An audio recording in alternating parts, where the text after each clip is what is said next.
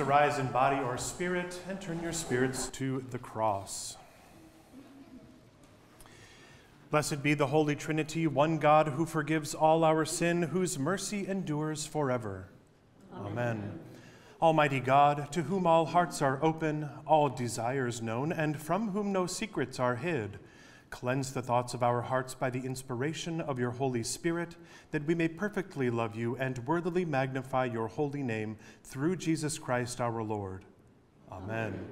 Let us confess our sin in the presence of God and of one another. Gracious God, have mercy on us we confess that we have turned from you and given ourselves into the power of sin. We are truly sorry and humbly repent.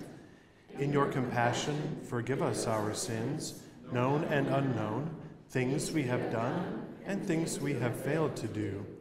Turn us again to you and uphold us by your Spirit, so that we may live and serve you in newness of life through Jesus Christ, our Savior and Lord. Amen. God, who is rich in mercy, loved us even when we were dead in sin and made us alive together with Christ. By grace you have been saved. In the name of Jesus Christ, your sins are forgiven. Almighty God, strengthen you with power through the Holy Spirit, that Christ may live in your hearts through faith. Amen. Amen. Please remain standing as you're able for our opening hymn, number 720, in the center section of your red hymnal.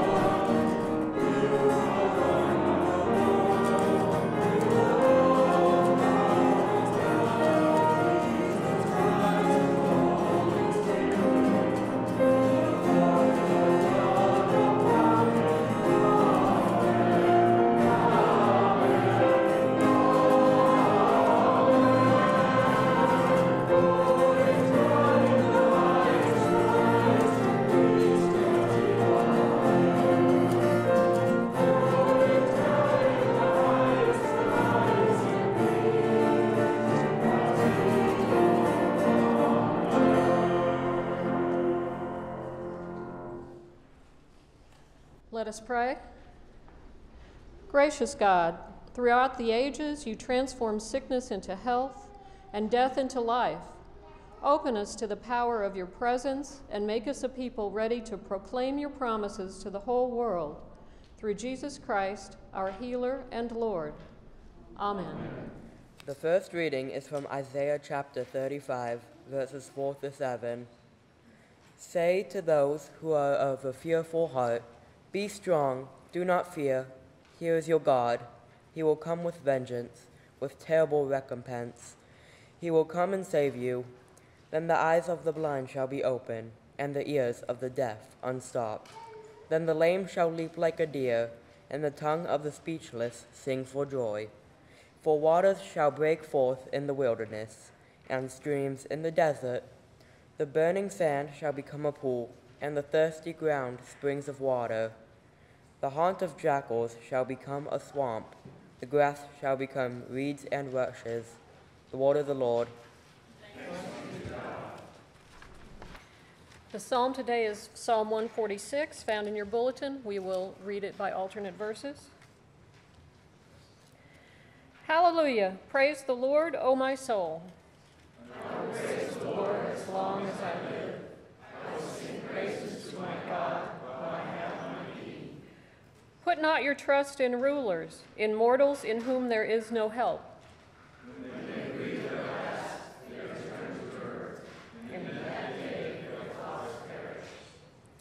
Happy are they who have the God of Jacob for their help, whose hope is in the Lord their God.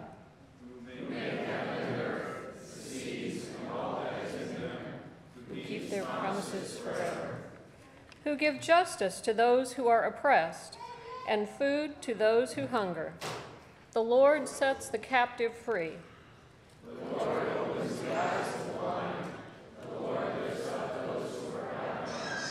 The Lord loves. The Lord cares for the stranger. The Lord sustains the orphan and widow, but frustrates the way of the wicked. The Lord shall reign forever, your God, O Zion.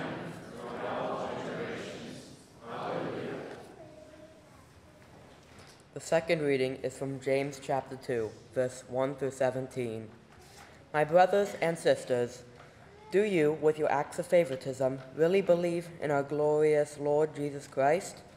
For if a person with gold rings and in fine clothes comes into your assembly, and, if a poor person in dirty clothes also comes in, and if you take notice of the one wearing fine clothes and say, Have a seat here, please, while to the one who is poor you say, Stand there, or sit at my feet.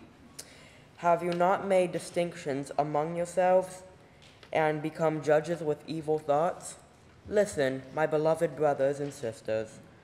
Has not God chosen the poor in the world to be rich in faith and the heirs of the kingdom that he promised for those who love him?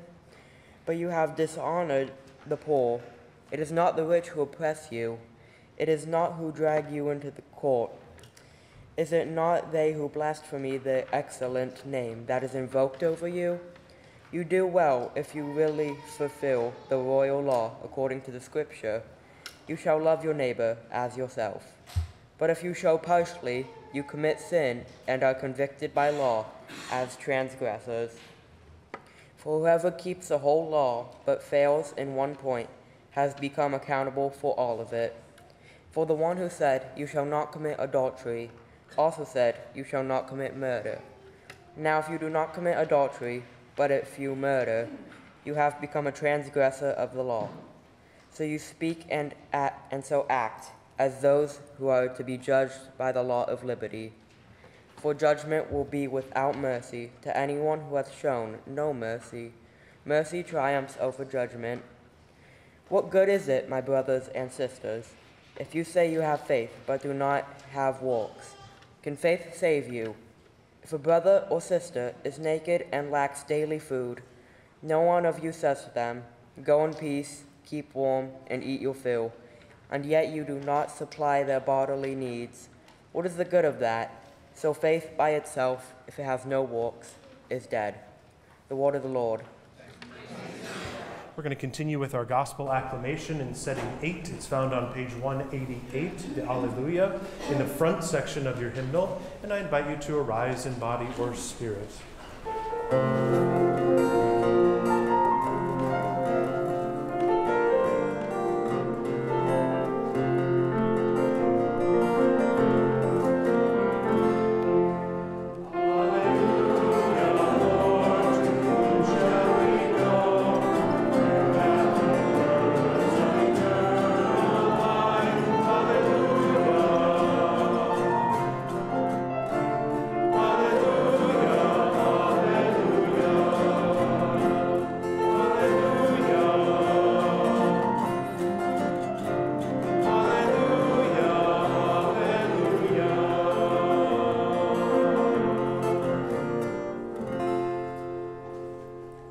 This is the Holy Gospel according to Mark, the seventh chapter. Glory to you, O Lord. From there, Jesus sent, set out and went away to the region of Tyre. He entered a house and did not want anyone to know he was there, yet he could not escape notice. But a woman whose little daughter had an unclean spirit immediately heard about him, and she came and bowed down at his feet. Now the woman was a Gentile of Syrophoenician origin. She begged him to cast the demon out of her daughter. He said to her, Let the children be fed first, for it is not fair to take the children's food and throw it to the dogs. But she answered him, Sir, even the dogs under the table eat the children's crumbs. Then he said to her, For saying that, you may go. The demon has left your daughter. So she went home, found the child lying on bed, and the demon gone. Then he returned from the region of Tyre and went by way of Sidon toward the Sea of Galilee in the region of the Decapolis. They brought to him a deaf man who had an impediment in his speech, and they begged him to lay his hand on him. He took him aside in private, away from the crowd and put his fingers into his ears and spat and touched his tongue. Then, looking up to heaven, he sighed and said to him, Ephphatha, that is, be opened. And immediately his ears were opened, his tongue was released, and he spoke plainly. Then Jesus ordered them not to tell anyone, but the more he ordered them, the more zealously they proclaimed it. They were astounded beyond measure, saying, He has done everything well. He even makes the deaf to hear and the mute to speak. The gospel of the Lord. Praise, Praise to you, O Christ. Please be seated. Friends, grace and peace to you from God the Creator and the Lord Jesus Christ. Amen. So much to celebrate today. I love the yellow t shirts. Um, we're going to be loud and proud and almost obnoxious in our goldenrod out there in the community today. I think as we go forward, we'll plan to do that more and more to wear these bright yellow t shirts. They sure do seem to catch a lot of attention, and that's a good thing, right? Helping your neighbor doesn't make the kind of headlines as blowing them up, up does, but that's the work that we're about reaching out and serving our neighbors. And we're coupling it today with the kickoff of our stewardship campaign, which to me blends perfectly together because, again, we know that we are midway points of God, God's grace and blessings, and our job is simply to continue to pass them along, to worship God, to enjoy fellowship, to learn together, and to serve. And that's what we're about. But I always preach from the gospel. And if you're anything like me, and you hear this gospel or you read it, there are a couple of points that make you pause and go, that's weird or unfortunate or gross. And so let's talk about it. We'll start today with a couple of kind of difficult questions. These are questions that colleagues like Vicar Natalie and I engaged with through the week as we uh, tried to figure out what's at the bottom of this? What's at the foundation of these two healing miracles, which are decidedly connected together? It brought up questions like Can Jesus learn? Can Jesus change his mind? Is Jesus open to new and different ideas? Probably the traditional view about Jesus would say no, no, and no. Jesus is perfect. He's all knowing. He's the embodiment of uh, the universal Christ. And so he always knows what's coming next. He always, knows what's going to happen and how he's going to react. And things like that. In fact, I would tell you that Pastor Ben of 10 years ago preached this very text. I'm going to call it in the remote or ancient past now. It's mostly been lost to history. But it said something like Jesus really knows how to set up a lesson. Jesus has nothing to learn. Jesus is always perfect. He does know what's coming next. And this exchange with this Syrophoenician woman is just a ploy to show that Gentiles can be faithful too. He sets it all up perfectly. But I found that re examining things that I feel sure about, especially matters of faith and interpretation, wrestling with those things and praying and scrutinizing them for myself is really important. I found that even foundational beliefs can change, and that you can't really have faith in anything you know for sure. You can't really have faith in anything you know for sure, and it's important to be open. I would encourage you to do the same. And if you find yourself in this moment exactly the same place and position on all matters of faith as you were 10 years ago, including things like politics, social justice, overall worldview, to be open to new and different ideas. Otherwise, life can get pretty boring, I would think. Because at this point, I read this gospel passage, two miraculous healings. I can see that they are inextricably tied together by the theme of being open. And they work well together so much because Jesus himself is willing to be open. And being open is a good thing, right?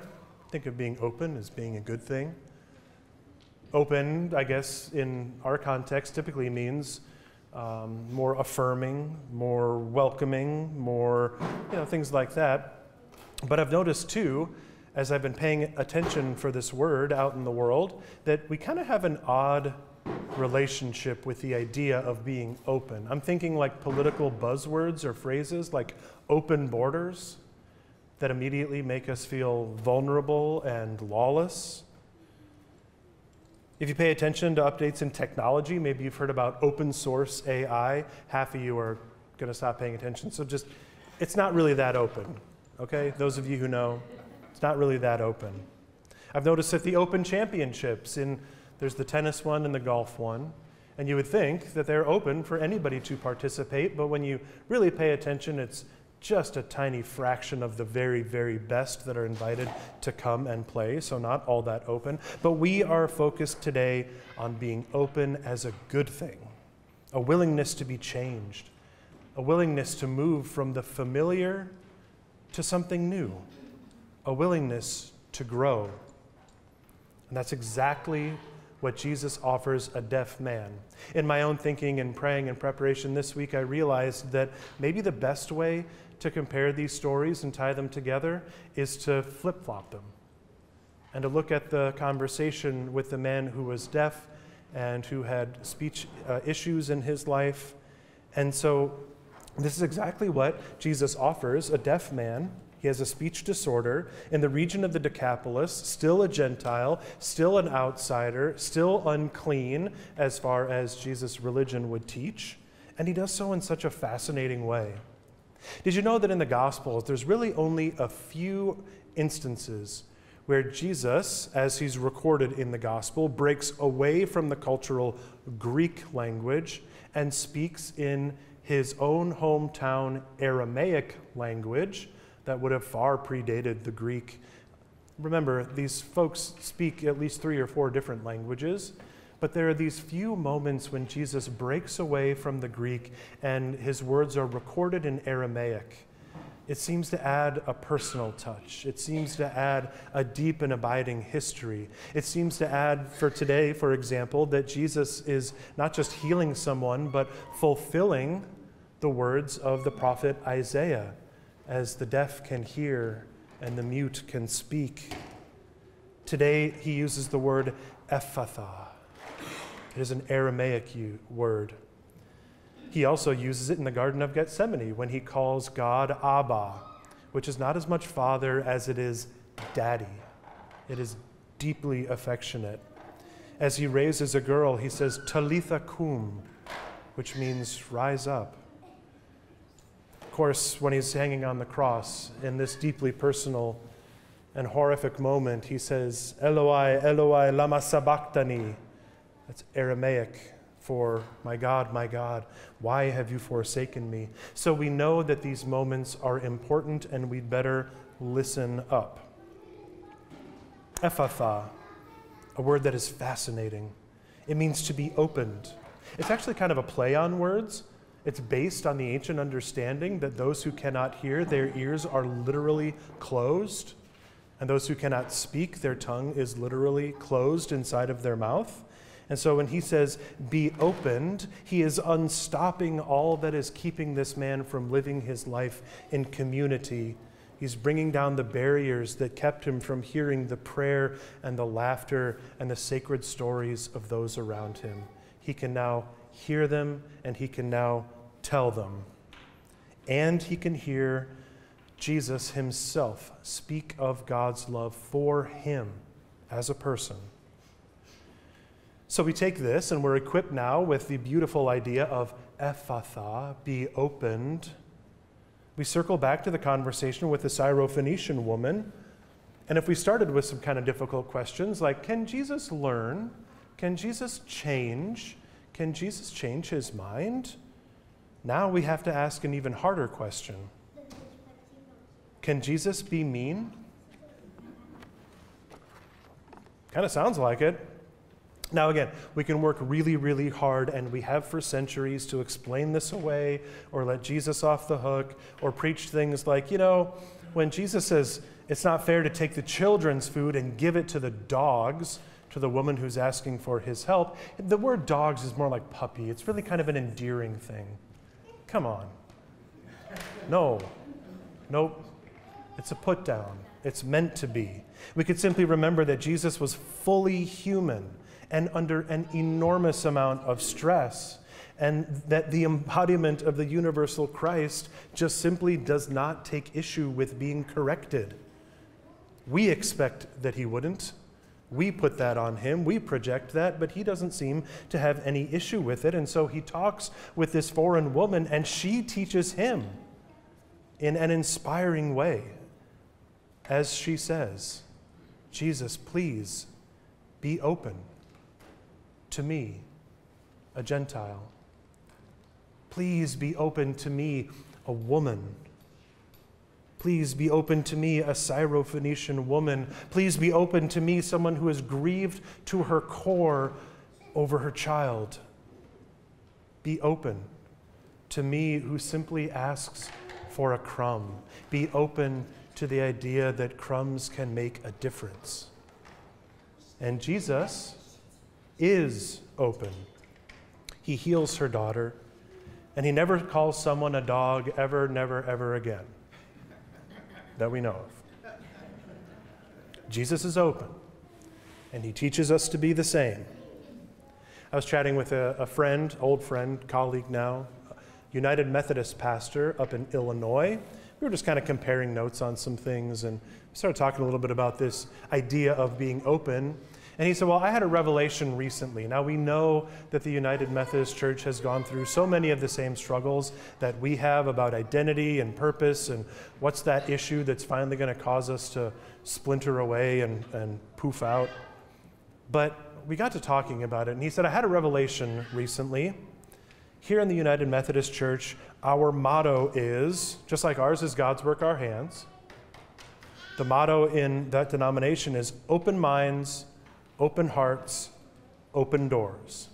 He said, The revelation that I had is that when we say open mind, open hearts, open doors, this is not an adjective. We're not describing who we are as a church. Because then we would have an issue. Are our hearts and minds really open? Are our doors really open to all? Not everywhere, they're not. He said it's not a describing word, it's a verb. It is who we are called to be as the church as we move forward. We are to open minds, our own and others. We are to open hearts, our own and others. We are to open doors eventually to all. Today, I would add to that not just open minds, hearts, and doors, but also open hands. After all, it's God's work, our hands, Sunday today, and we kick off our stewardship drive. And I would say that having the posture of open hands is the powerful posture of those who follow Jesus and those who live into the calling to be Christian in a desperate world. Open to receive first. God always gives first. And so we are open to receive and we are open to give and serve. If we're open to receiving God's grace, then we remain open to loving who God loves and serving who God would have us serve. An open hand is a posture of peace.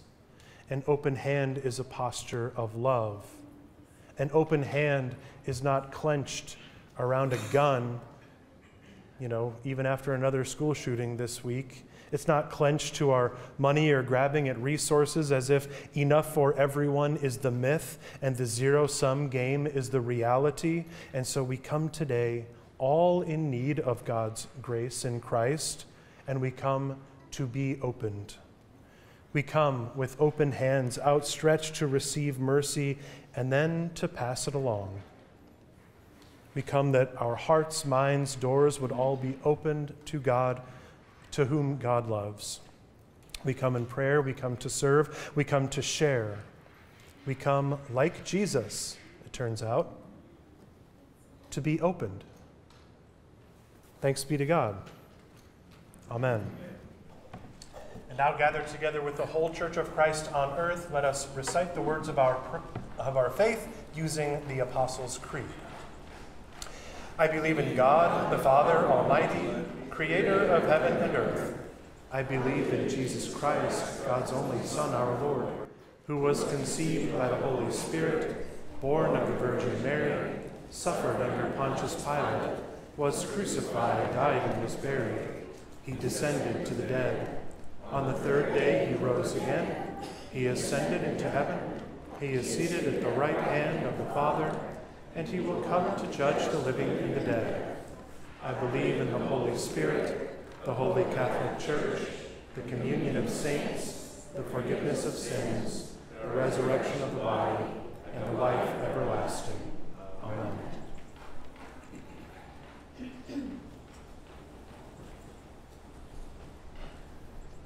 Drawn together in the power of the Holy Spirit, we pray with confidence for the church, God's good creation, and all who are in need. The response today is Your mercy is great. Awaken in our communities of faith a spirit of radical hospitality. Encourage our churches to celebrate and embrace people of diverse backgrounds, experiences, and abilities. Deepen our commitment to ecumenical and interreligious partnerships. Hear us, O God. Your mercy is great. Bring forth water to nourish plants and animals in places suffering from drought. Renew our commitments to protect rivers, lakes, and streams, and make us good stewards of water in our homes and our communities. Preserve wetland habitats and the creatures that make their homes there. Hear us, O God. Your mercy is great. Inspire leaders of nations, cities, and tribes to lead with wisdom and humility. Bring, bring peace among peoples in conflict and strengthen global commitments to nonviolent solutions. Guide all who seek refuge from war to a safe haven. Hear us, O God. Your mercy is great. Especially, we pray that you would be with Karen, Melba, Ray, Logan, Chuck, Dottie, Brooklyn, Trudy, Lori, Donna, Emma, Damon, Joanne, Valerie, Elizabeth, Susan, Sarah, Shelley, Michelle, Michael, Tom, Kay, Helen, Jack, Ezra, Christine, the family of Jim DeRupa, the family of Bob Perry, and the family of Marlene Doherty. Comfort all who live with chronic illness. Surround them in your tender embrace and sustain all who provide ongoing care and support. Bring hope and healing to people struggling with addiction and nourish the spirits of all who are in recovery. Hear us, O God. Your mercy is great. Nurture in all people the gift of your creating spirit. Inspire artists and musicians, woodworkers and quilters, poets and dancers. Revive those whose artistic wells have run dry, and enliven all who doubt their creative talents. Hear us, O God. Your mercy is great. We give thanks for all who have died and now find their rest in you. May your faithful witness guide us in our daily life with you. Hear us, O God. Your mercy is great. We entrust these and all our prayers to you, Holy God, in the name of your beloved child, Jesus Christ, our Savior. Amen.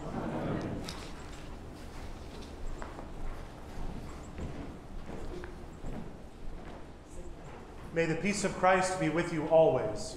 And also with you. Share a sign of peace together.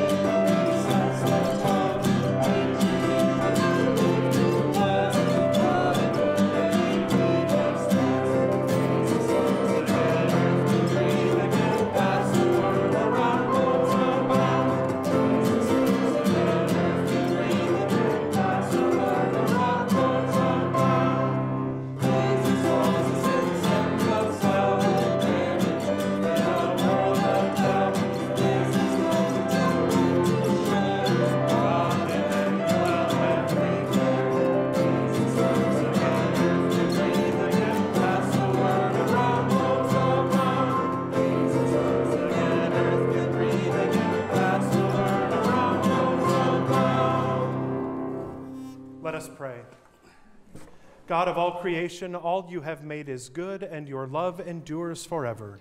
You bring forth bread from the earth and fruit from the vine. Nourish us with these gifts, that we might be for the world signs of your gracious presence in Jesus Christ, our Savior and Lord. Amen. The Lord be with you. Lift up your hearts. Let us give thanks to the Lord our God. It is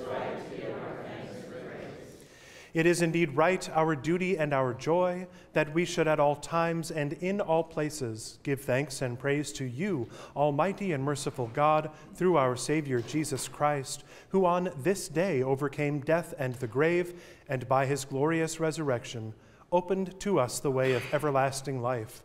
And so, with all the choirs of angels, with the church on earth and the hosts of heaven, we praise your name and join their unending hymn.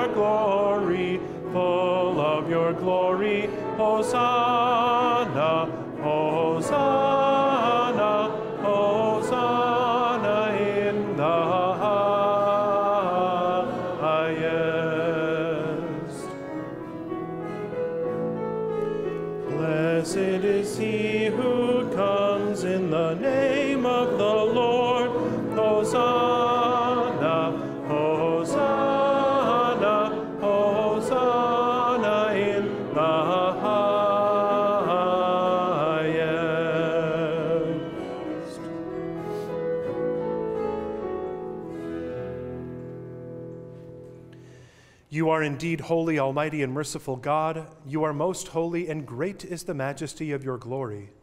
You so loved the world that you gave your only Son, so that everyone who believes in him may not perish, but have eternal life. We give you thanks for his coming into the world to fulfill for us your holy will and to accomplish all things for our salvation. In the night in which he was betrayed, our Lord Jesus took bread, gave thanks, broke it, and gave it to his disciples, saying, Take this and eat. This is my body given for you. Do this for the remembrance of me. Again, after supper, he took the cup, gave thanks, and gave it for all to drink, saying, This cup is the new covenant in my blood, shed for you and for all people for the forgiveness of sin. Do this for the remembrance of me. For as often as we eat of this bread and drink from this cup, we proclaim the Lord's death until he comes. Christ has died, Christ is risen, Christ will come again. Remembering, therefore, his salutary command, his life giving passion and death, his glorious resurrection and ascension, and the promise of his coming again, we give thanks to you, O Lord God Almighty, not as we ought, but as we are able.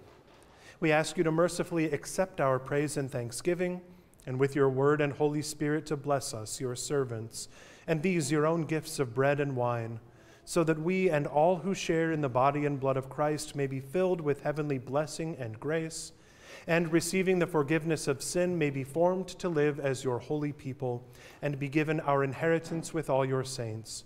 To you, O God, Father, Son, and Holy Spirit, be all honor and glory in your holy church now and forever. Amen. Our Lord Jesus also taught us to pray Our Father, who art in heaven, hallowed be thy name. Thy kingdom come, thy will be done, on earth as it is in heaven. Give us this day our daily bread, and forgive us our trespasses, as we forgive those who trespass against us. And lead us not into temptation, but deliver us from evil. For thine is the kingdom, and the power, and the glory, forever and ever. Amen. The body and blood of our Lord Jesus Christ strengthen you and keep you in his grace. Amen. And let us pray. O God, we give you thanks that you have set before us this feast, the body and blood of your Son. By your Spirit, strengthen us to serve all in need and to give ourselves away as bread for the hungry. Through Jesus Christ our Lord. Amen.